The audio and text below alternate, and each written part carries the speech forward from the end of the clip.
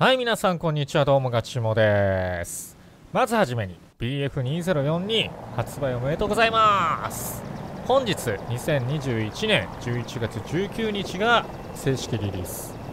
えー予約特典として先行プレイを楽しまれていた方は11月12日より BF2042 の世界を堪能されていたと思います。僕自身もね、えー先行プレイから BF2042 をプレイしてあっという間にね総プレイ時間数が33時間となっていました。まあ気づいたらね、えー長時間プレイしちゃってるあれですね。そして、えー BF2042 についてなんですけどももうすでにね皆さんご存知だとは思いますが、えー今作は最大128人対戦で過去最大の大規模戦闘が楽しめる戦場となっています。PC、PS5、Xbox の最新シリーズでは最大128人対戦。PS4、Xbox One では最大64人対戦ができます。またクロスプレイにも対応しておりハードの壁を越えたプレイを楽しむことができます。BF2042 では大きく分けて3つのね、えーモードを楽しむことができます。ウォーフェア、ハザードゾーン、ポータルとあるんですけども、ウォーフェアの方はね、えー皆さんご存知、コンクエスト、そしてブレイクスルーですね。コンクエストもブレイクスルーもどちらも好きなんですけど、今作ではコンクエストの方が僕は好みですね。ざっくりコンクエストの説明をすると、コンクエストは1つのマップが何区分かに分けられています。そしてその区分、まあ陣地ですね。陣地を制圧し合うというものなんですけど、ブレイクスルーとは違って試合の初めからどの陣地を攻めに行ってもいいんです。まあ一つのねマップを自由に、えー制圧しに行くことができます。まあ自陣側から、えー陣地を確保していってもよしビークルを使って敵陣側に近い陣地を取りに行ってもよし自由な立ち回りが楽しめる。それがコンクエストですね。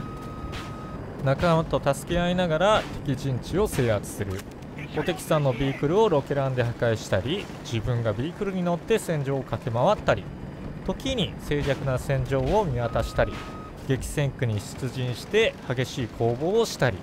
本当にね自分好みの立ち回りが楽しめる。戦場を体現できる、えーそのようなモードがねコンクエストなのかなと思います。まあ、そして一方、ブレイクスルーですね。ブレイクスルーもコンクエストと似てるんですけど、えー攻め側と守り側にまず分けられます。で、1つのマップが、えー何区分かに分けられてるのは一緒です。えー1区分、2区分、3区分、4区分みたいな感じで分けられてるんですけど、えーゲームモードとしてまず1区分目ね第1セクターに A ポイント B ポイントと2つ例えばあったとして攻め側がその A と B を制圧したら次の区分に行くと、え 1, 1区分を制圧したら2区分目に行く。2区分目を制圧したら3区分目に行く。っていう感じになってます。だから最初からね、えーマップ全体を楽しむことはできない。ある程度制限された、えー区域の中で楽しむ。それがブレイクスルーなんですけど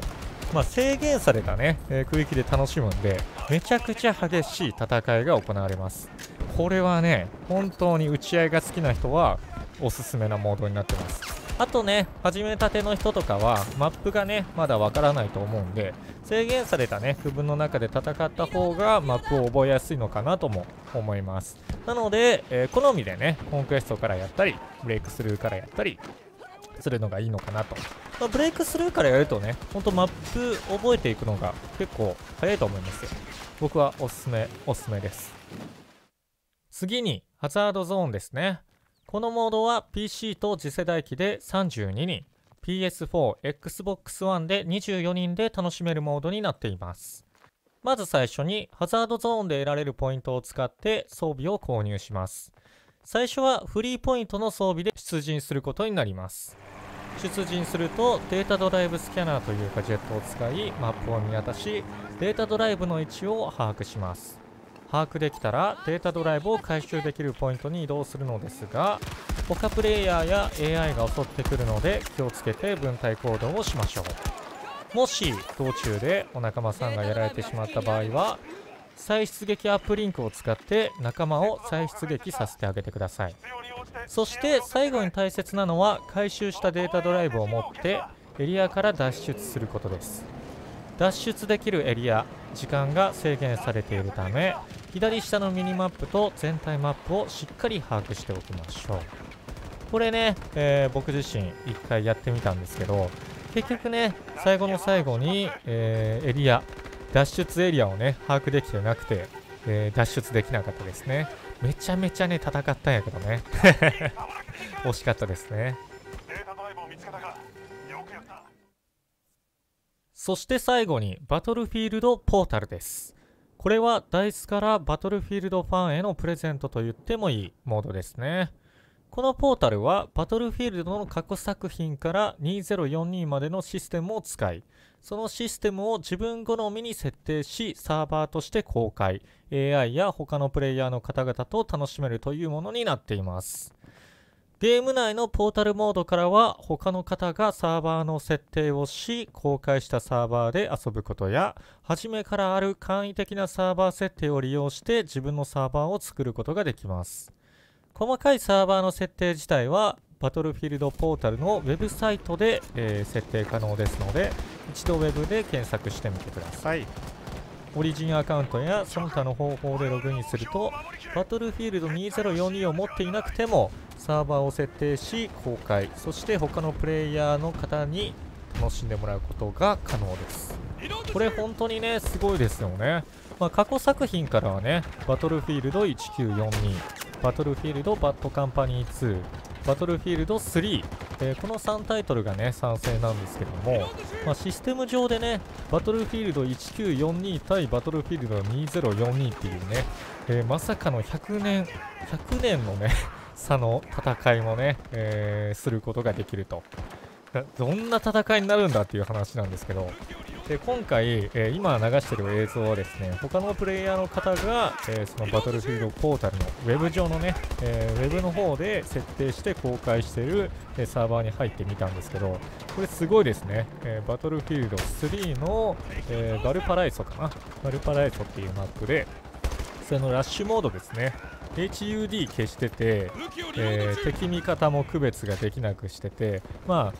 同士打ちはなしにしてるのかな？同士打ちはなしです。仲間を撃っても、えー、倒すことはないと。なんで FF はなしで、で、あと弾薬とかももちろん見えないし、だから敵を倒したのもわからないんだよね。なんか倒したぞとかさ、なんかキル音が若干聞こえるみたいな。だから本当にもうこれハードプレイヤーですよね。かなりバトルフィールドのコアファンだと思うんですけど。いやー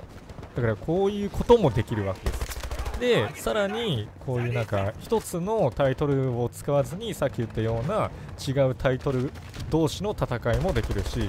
やもっと言ったらどういう戦いができるのかな。全部全部入れ込むこととかもできるんですかね。ちょっとそれはね、えー、皆さん、あのー、興味のある方はバトルフィールドポータルのウェブの方でね、一回検索してみて、そっちの方でログインして、えー、いろいろね、サーバー設定できるんで、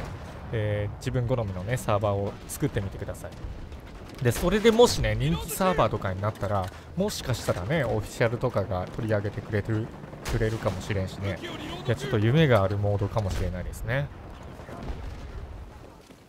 はい、いかがでしたでしょうか？今回はバトルフィールド2042の紹介でした。いやー、ほんとね、今回はバトルフィールド2042の大枠ですね、えー、各モードの大枠を説明するような感じの、えー、動画になったんですけど、えー、ほんとね、え皆さんに楽しんでもらえたらなと思います。本当はね、え今回の動画にはな出してないんですけど、えもちろんね、武器のカスタマイズができたりとか、え兵器のね、カスタマイズができたりとか、キャラクターごとのね、特性があったりとか、えー、もっとね、えー、深掘りできる部分はあるんですけど、そちらは他の動画でね、えやっていけたらなと思います。それよりもね、え大枠を、えバトルフィールドとは何ぞやっていうのを知ってもらって、えもっとね、え興味持ってもらえる方が、バトルフィールドに興味持ってもらえる方が増えたらなと思うんで、まあ、ぜひね、この動画を見て、えー、興味を持ってくれた方がいたら、ぜひね、えバトルフィールド204に一緒にね、楽しんでいきましょう。では、えーよかったらね、えコメントと評価、えそしてチャンネル登録の方をよろしくお願いします。では良いゲームライフを。ガチョツガチョツまたねガチョツ。